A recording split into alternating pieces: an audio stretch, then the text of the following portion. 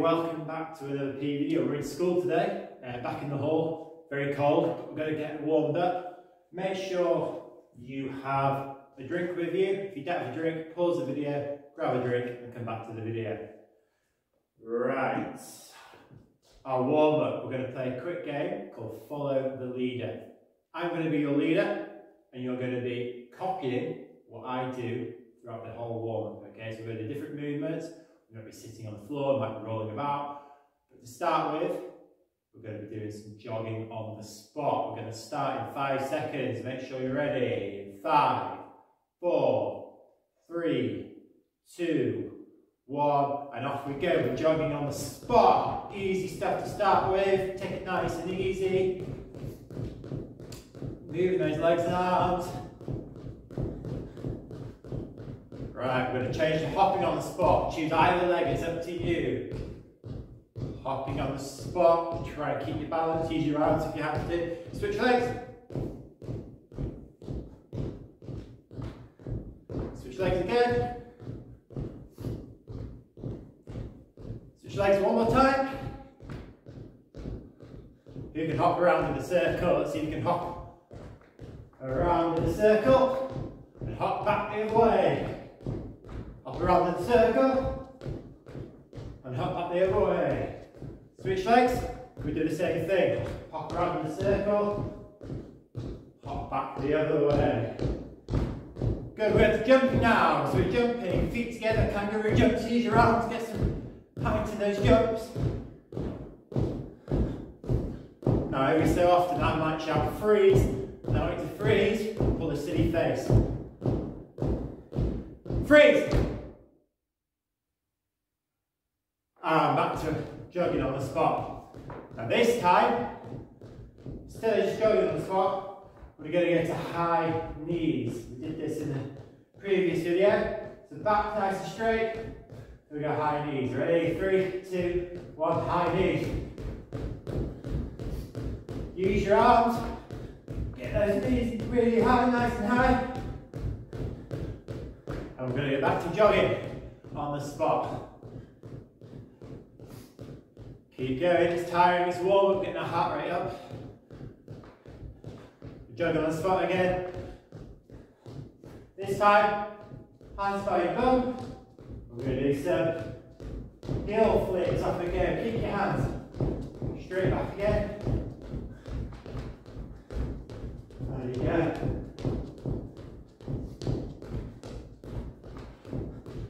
Freeze. Good. Now we're going to do some star jumps. Three, two, one, go.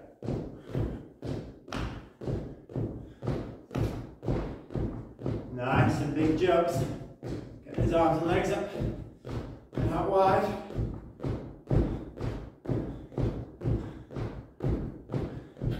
Freeze. Right, some new instructions coming your way now. We're going to sit down. Stand up. Down. Stand up. And when you stand up, I'm going to see you do a little jump. Sit down. Stand up and jump. Sit down. Stand up and jump. Well done everybody, that's your warm up all done with. Grab yourself a drink. Have a quick drink. We've got a minute's rest and we will get into our first activity.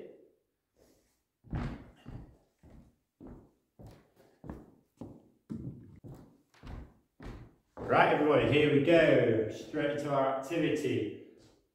Before we start, you will need either a softball that you've got lying around the house, has to be soft, so don't be breaking anything in your house, okay? Or, if you don't have a softball, some of you might not, a couple of socks, roll up into the ball, will do the same job, okay? So, I'll give you some time to get your ball or socks. So pause the video, then come back with your socks or your ball and we can start.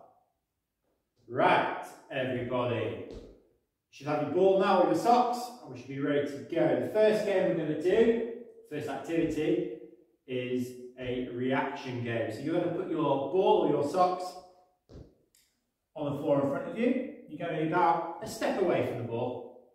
Okay? And you're going to have your feet shoulder width, apart. Nice and easy. Now, in PE lessons before, we played these in pairs. It's a bit of a competitive game here, but also we can't do that. If you're with a brother or sister, you might be able to uh, play this in pairs where you stand opposite each other with the ball in the middle. But what we're going to do today is this. Feet shoulder apart, hands on your knees, and you're going to listen to me. So when I say heads, move your hands to your heads. Shoulders to your shoulders, knees to your knees, whatever I say, you move your hands to. As soon as I say ball, I want you to stay on your feet, bend your knees, and grab your ball and put, put it in the air as quick as you can. Okay? Now hopefully the more we do this, the quicker we'll be able to react to me saying ball getting the ball. So are we ready? Make sure that ball is about a step away from you. Feet shoulders apart, hands on knees to start with. Here we go. Head, toes, back, ears, head, nose, ears, knees, back, feet, knees, ears, ball. Make sure you grab it quickly. If you've done that, well done. Put your hand in the air. So you know you've done that. Well done. That's your first round. So put the ball back down in the middle. Okay. Brilliant stuff. We're going to do that again. Really concentrate on my voice. Here we go. Knees. Hips. Do a little hula. Head. Ears. Nose, back, bum, head, ears, toes, ankles, knees, back, bull. Well done. I reckon I might have been a bit time for you. Also, I threw bum in there, didn't I? And uh, in the past, people have thought I've been saying ball, so I wonder if anybody went for the ball and I said bum. Right, this time we're going to face the opposite direction. This might be a bit tricky, because I know we're doing it over a laptop or TV, but we'll give it a go, okay? So the ball's going to stay where it was, but this time we're going to be facing the opposite direction to the ball. Make sure you set that up. Hands on knees to start with. And what we're going to do when I shout ball, we're going to do a big jump and grab the ball. Are we ready? Hands on knees, feet shoulders apart. Head. Toes. Back. Ears. Nose. head, front, ears, shoulders, toes, ball. Well done, you've got it nice and quick there. Brilliant. Right, we're going to do one more little one, little challenge now, okay? I'm just going to spin my mat around first for this one. It's not lying on the floor. But this is what we're going to do. Ball's going to be out in front of you. Do, going to do a couple more actually. Ball out in front of you. Let's roll away. You're going to lie down on your belly, on your chest like this. Okay. Ball's going in front of you. And we're going to say head, shoulders, or back. If I say head, you're going to go like this. If I say shoulders, you're going to go like this. If I say back, you're going to go like this. If I shout ball, you're going to grab it and stand up. Here we go.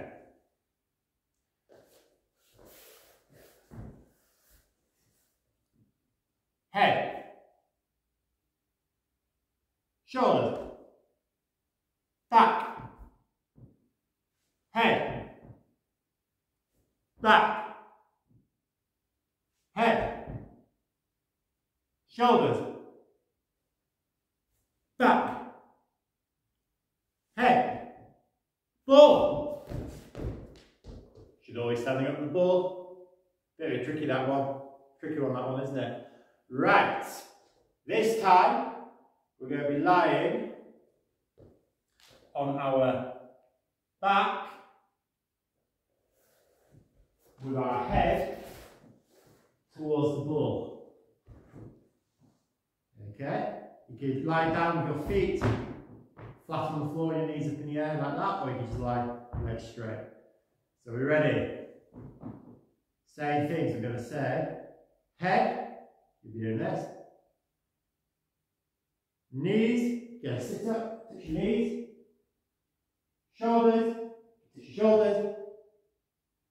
And so on. Are we ready? Head. Knees. Shoulders. Knees. Shoulders. Knees. Head. Shoulders. Knees. Head. Shoulders. Ball. Spin around. Grab the ball. Well done. Right, for our final activity, we're going to do some catching. Now, a lot of children, when they catch, they have some problems catching for whatever reason. And one of the main reasons is because when the ball goes in the air, they bring their hands together. And what happens? The ball goes through their hands. Something like this. And look a bit silly. Now, adults do that too, as well. I've done that in the past. But one trick I found that really helps us to catch is that we have our hands connected when we catch. Obviously, we need them as big as possible as well. So what I like everyone to do is make the hands as big as possible like that, stretch your fingers out, and then bring your fingers in. You're going to make two fists. Like in our own video, we did a, little punches, okay? Two fists like that, fingers to the roof. I want you then to just bring out your little fingers, your pinkies, and with your little fingers, you're going to cross them over just like that, okay? Bring the rest of your fingers out, and you can now see that your hands are connected. So when that ball goes in the air, like this, my hands are connected, and it's not going to fall out, and my hands are in a cup shape as well, aren't they? So when we catch it, hands are connected into a cup shape, and then we'll bring the ball into our chest. Now the most important thing about any catching is that you always watch the ball. So the ball goes up into your hands and into your chest and give it a nice hug. Okay, so we're going to do 10 practice catches. You're not throwing the ball super high. I don't want to break any lights or anything like that. I want the ball to be thrown just above your head. Remember, we're going to watch it all the way up, all the way down into your hands and catch. Now, if you are struggling with uh, dropping the ball or you just need to practice a bit more, then pause the video, keep practicing, and you can move on to maybe a challenge later on. Here we go. 10 catches. Three, two, one, go. One, two, three, four, five, six, seven, eight, nine, ten, eleven. I did one extra. No mind. So, 10 catches, fairly simple. We're going to put a challenge to you now. So, 30 seconds challenge. Now, if you drop the ball, doesn't matter. You're going to see how many catches you can do in 30 seconds. So, are you ready? Five seconds to go. Here we go. Three, two, one. Count your head. How many can you do? Keep that technique going. Another 30 seconds isn't that long.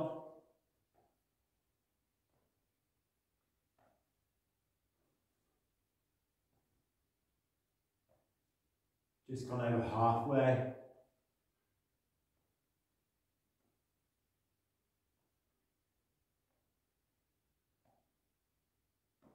There we go, last few seconds, and stop.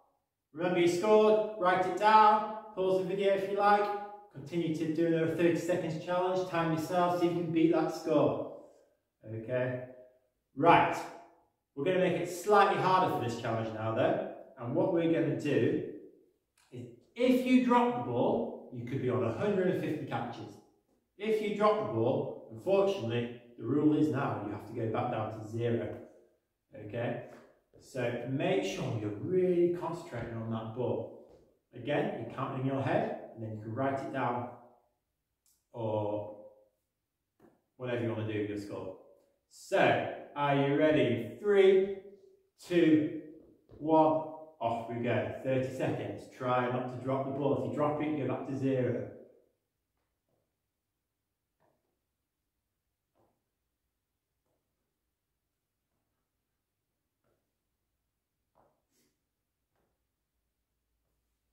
Halfway.